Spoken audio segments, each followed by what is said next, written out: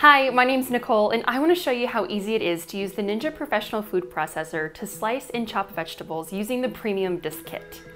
As we all know, food prep can be aggravating and time consuming, especially when you have to chop a lot of veggies. Luckily, this versatile kitchen appliance truly does the work for you with a variety of discs to quickly slice, shred, grate, and so much more. Now I have the confidence to get creative in the kitchen and unleash my inner chef. This system comes with a variety of discs and even includes a convenient storage case so I can easily store all this functionality and stay organized. Luckily, each disc has the name etched right into it, so you'll never get confused at which side to use. This is the grating disc. It's perfect for grating mozzarella and even hard cheeses like Parmesan to go on top of your favorite recipes. This is the crinkle cut disc. Use it to make homemade wavy potato chips, pickles, or even cut fun shaped veggies for dipping. It's just perfect for making veggies fun for kids or adding a little something extra to your side salad. This third disc is unique because it's reversible with a different function on each side.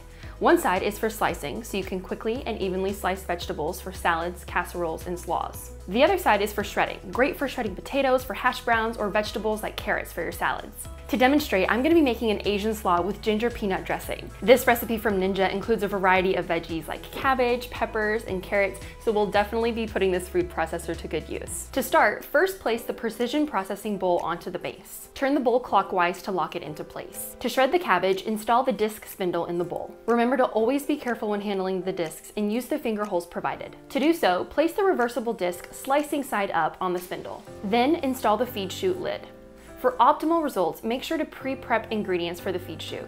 That means cutting off both ends of veggies. Larger ingredients like potatoes should be cut in half to fit through the feed chute. Then place the red cabbage in the feed chute. Select disc, then use the pusher to push the cabbage through the chute. When all the cabbage is sliced, stop the program by selecting disc and transfer the cabbage to your serving bowl. This recipe also calls for shredded carrots, so we'll just need to switch out the disc we're using. Install the disc with the shredding side up. Place the carrot in the feed chute and shred away. After all of your veggies are sliced and shredded, we'll want to top this off with the dressing. To create the dressing, install the chopping blade into the precision processor bowl. Now place all the dressing ingredients into the bowl. Install the lid, then select high and run until the program is complete. This takes about 60 seconds. Once complete, simply remove the lid by clicking the release button and rotating counterclockwise. Once the chopping blade is safely removed, you can pour these ingredients into a separate bowl. Pour the dressing over the slaw and toss to mix. For added flavor, sprinkle with peanuts, cilantro, and green onion. Then serve and enjoy. Mmm, what a delicious salad. And I can get right to eating it because cleaning and storage is a breeze. To clean, simply place the disc into the top rack of the dishwasher and they're good to go. Once they're cleaned, I can stay organized with this storage case.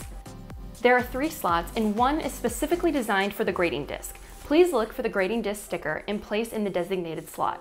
The remaining slicing, shredding, and crinkle cut discs can go into either of the other two slots. So many functions that neatly store away easily.